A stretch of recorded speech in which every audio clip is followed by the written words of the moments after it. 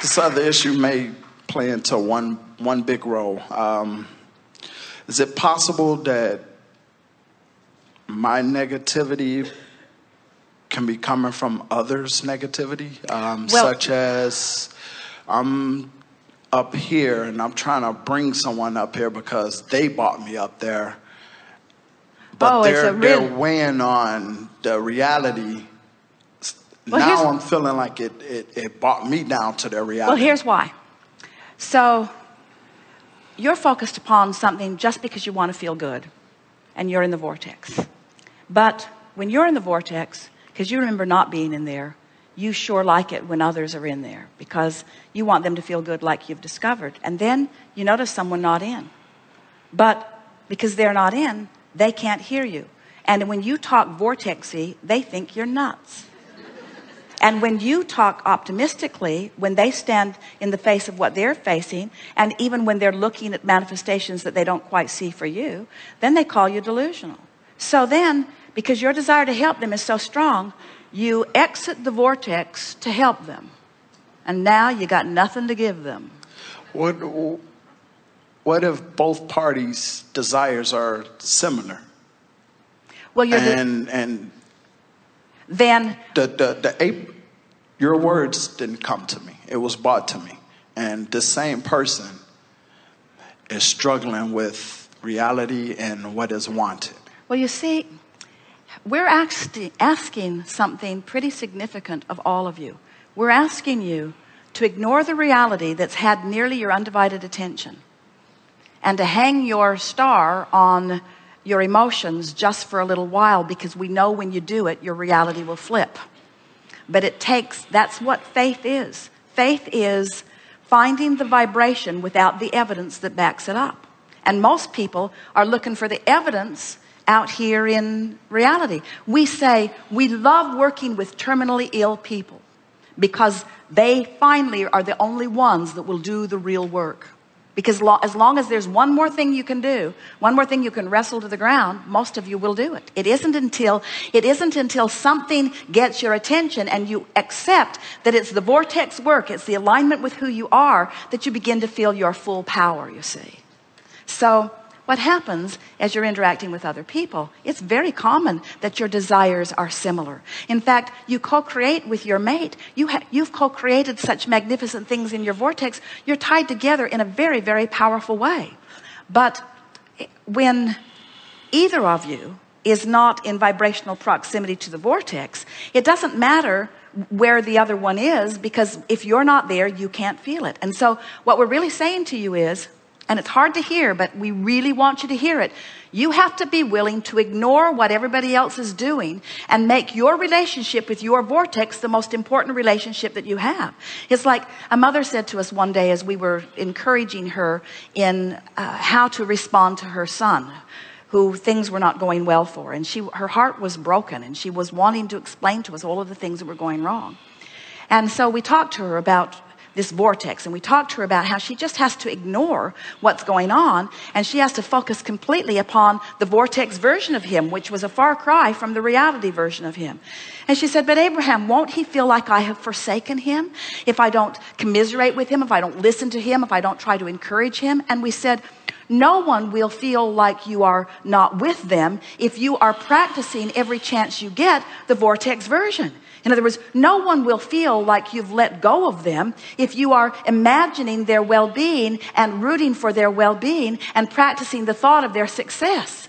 But no one benefits from your attention to what is when what is isn't what they want. They think it is. They say, come here and be there with me. So you march right out of your vortex and you be there and then you both resent each other because neither one of you feel good because you're not in the vortex. And meanwhile, the good news is you're both putting more in the vortex, you see. Here's what we would do if we were standing in your physical shoes. We would end every day by putting ourselves in bed, say good night to everyone with the idea that you're not going to talk any further. And as you're drifting off to sleep, we would go as general as we can into a place of appreciation. Appreciate your pillow. Appreciate the air conditioning in the house. Appreciate the roof over your head. Appreciate just the simplest things that don't challenge you in any way. Just appreciate. And if you can drift off to sleep in appreciation, if you go to sleep in the vortex, you'll wake up in the vortex. It's just the way that it is because your vibration is where you last left it. So when you waken in the morning, let your first thoughts be, oh, I like that feeling of appreciation. And then if you can do a little bit of basking just to keep it going. In other words, it's so much easier to start with the vortex and let the vortex affect reality than it is to face reality and then try to drag reality into the vortex. Because law of attraction is amplifying wherever you're at.